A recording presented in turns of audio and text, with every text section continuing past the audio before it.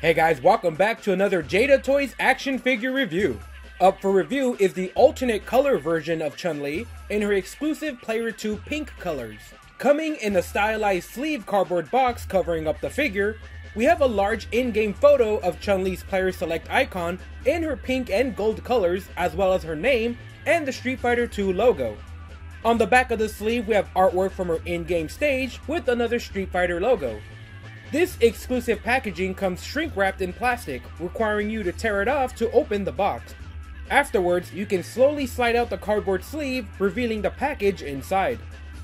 We finally have a full view of the figure, fully displayed with all of the accessories, inside a cardboard sleeve themed after her stage. At the back, we have another photo of Chun-Li displayed with their exclusive parts, and the small icons of other characters released or planned to be.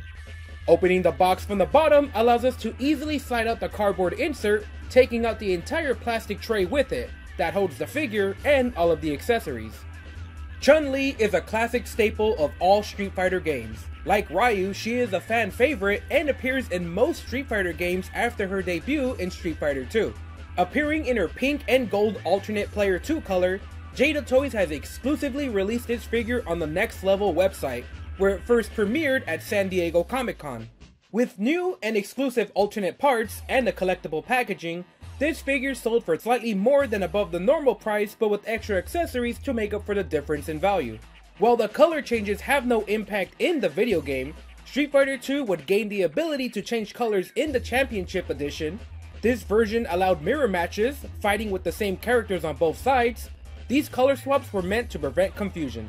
Now, most of these combination of colors have become classic versions of the characters, with many of them having been kept even into the latest versions of the Street Fighter games. Let's take a look at the details of the figure. Small, subtle differences can be seen here compared to the original version. This Player 2 pink color has a smoother face, brown highlights in the hair, and what seems to be a more accurate and higher resolution application of paint details on the lips, eyes, and eyebrows. Compared to the original, there has been a clear upgrade over the last few months. More details can be seen on the side, including the strands in her hair being pulled back into those iconic white and gold hair buns, as well as a large white earring on the ear. Brown highlights in the hair sculpt are on the back as well, with more gold trim on the hair buns and more gold crosses on the edges of the strands hanging down from those buns. Moving on to the chest, we have a slightly rigid texture to the pink dress, giving it a thick, threaded effect in the sculpt. Golden swirls and flowers wrap around the body and chest of the figure, with both the neck collar and shoulders wrapped in that golden trim. Two large golden swirls share the center of the back, where we can see more of that thick cloth texture on the dress. The puffy shoulders of the dress are sculpted in large wrinkles and folds, with more golden trims at the center and edges of the sleeves, forming a flower-like petal design. Over at the arms, we have the large spiked cuffs that Chun-Li wears, black with silver spikes. Her arms have a light muscle tone to them, with the default installed hands being in a closed fist. The pink dress is tucked into the white cloth that wraps around the waist, where the rest of the pink dress flows out from underneath. Lots more wrinkles details the sculpts in this area, continuing with more thick cloth texture into the sculpt with golden trimmed edges of the dress. The front of the dress flows all the way down to the knees with a few wrinkles in the sculpt and more gold trim to end the details. On the side, the dress splits open, revealing the thighs underneath in a darker skin colored type. At the split, we have more of that golden trim with small swirls detailing the sides. Similar to the front, the dress has wrinkles where it is held down by the white cloth wrapped around the waist. There's not much more details here in the sculpt other than more gold trim and that thick cloth texture. Unlike the front, the dress splits into two sections here, with the gold trim in between having small swirls at the center. Thanks to the dress split, the thighs are revealed on the side, showing off that dark skin colored tights and the thick muscle tone that Chun-Li is known for. Large white boots laced all the way up just to under the knee cover the entire leg of the figure, detailed with boot sections, laces, and wrinkles in the sculpt. We wrap up the details with the boots of the figure. Simple white boots detailed with laces at the center and small sections detailed into the sculpt, as well as the sole of the shoes. Let's test out the articulation on the figure. Starting off with the head, we have a ball joint here that allows rotation all over, and a joint at the neck that allows it to bend forward and back a little bit, giving it a bit of a decent range to look downward. shoulders that open and rotate, and we should take note that this is one of the few figures without a butterfly joint here. We have rotation at the bicep, cleverly hidden in the sculpting, double jointed elbows that have great range, only being stopped by the wrist spikes, wrists that rotate and bend side to side, a ball joint at the chest that allows a bit of freedom of range here, as well as twisting, and another ball joint at the waist, combining both of them to get some great forward crunching and even more backbending. The thighs can open very wide and easily, and they bend forward and back with the butt sculpt blocking just a little bit of the backwards range. We have a simple cut into the thigh allowing rotation, although it is a bit ugly as the muscles will not line up anymore. Double jointed knees that bend backward with a pretty tight range.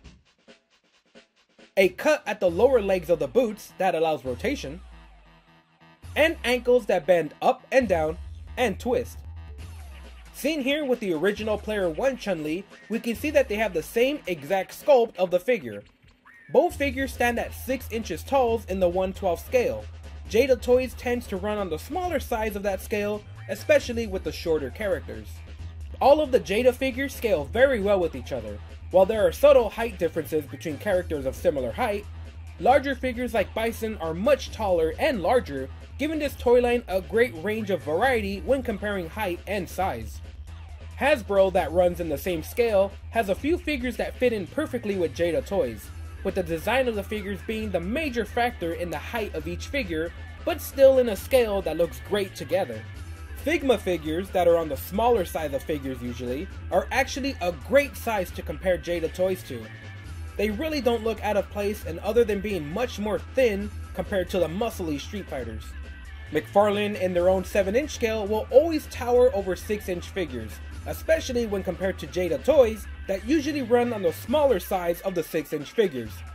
And lastly, we have Mythic Legions that are on the 6 inch size of figures but often run much larger and taller. As you can see, the scales between companies vary greatly.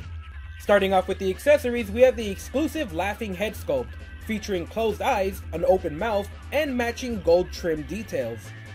We get another Laughing Head, exactly the same as the last one, except this one has yellow trims matching the player 1 colors. An open mouth angry screaming expression with gold trim details. Swapping the head is very easy, but it's always a good idea to heat up the socket to remove more easily. It's the same for the alternate player 1 head color. It fits just like the normal heads do and has the matching yellow trim. Exclusive to this set is the peace gesture hand with two fingers opened in the V shape, seen and used in Chun-Li's victory animation. Also exclusive is a more softer closed fist, unlike the original with exaggerated knuckles. We have a set of left and right open palm hands in a striking position. The hand joints are extremely tiny, although they are durable, it's always much easier to remove and install when heated up. Pegging the new hands is easy and poses just as easy as the original. Also exclusive to this set is the Kikoken Fireball effect, made out of a hard clear plastic with the smaller fireball effect at the center matching the in-game sprite very well. We also get the 100 Lightning Kick effect, made out of a softer clear plastic and an impressive color fading effect. We get a single clear stand with articulation for both effects. The stand has two points of articulation and fits both effects very easily. The sockets on each effect are the same size and hold securely. And just like the original Chun-Li, the kicking effect does fit the feet of Chun-Li, resting comfortably into any of the effect sockets. Again, I'm always impressed with Jada toys. They have such good quality for the price, and the Player 2 colors were something I expected from the start, even before they were announced. So this Player 2 color, while expected, still blew me away with the added extra accessories, especially the laughing face and gestures, something I originally requested in my original review of the Player 1 Chun-Li. One thing I did not expect was the quality to go up. The improvements on the face paint and the accuracy and resolution of that dot matrix style paint application was very noticeable, with the colors being more crisp accurately applied and less of that dot spillage that we saw on the first version. With Jada Toys slowly releasing more series of figures, it's looking really good for them as the quality is seemingly going up while keeping that same low price. It really feels like they're making all the smart decisions right now. I am really excited for that Cyberpunk series coming out from them.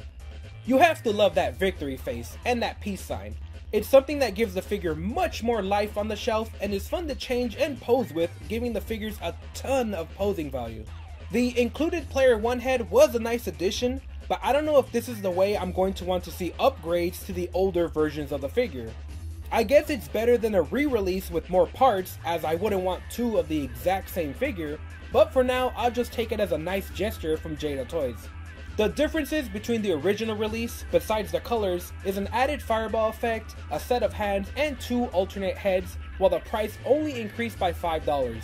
I was already happy with what I was getting in the original version, but I think the upgrade is completely worth the added price. I was hesitant to get the red Chun-Li version as it didn't add much to my collection, but I think Jada Toys hit a great sweet spot with this deluxe version, featuring more parts and the deluxe box that looks great on the shelf as well. I don't know how many alternate colors I'm personally going to get, but at this low price and the value of the added accessories, it's honestly not that hard of a decision to get multiple versions of characters that you really like. Chun-Li, Ryu, and Ken are all classics that already have multiple versions offering more accessories and features, and I think as long as Jada Toys can continue to provide this great value, I'll keep getting them. When it comes to Street Fighter, there are quite a few competing brands, but nothing as easy to enter as this series from Jada Toys. And while this version is an online exclusive, as of this review, they're still up for grabs online, and it doesn't look like they'll sell out anytime soon either. With a great range of poses, great accessories, and at a great value, Jada Toys is doing an incredible job with its current figures, and I'm honestly excited to see the rest of the Street Fighter series and any other series they come out with.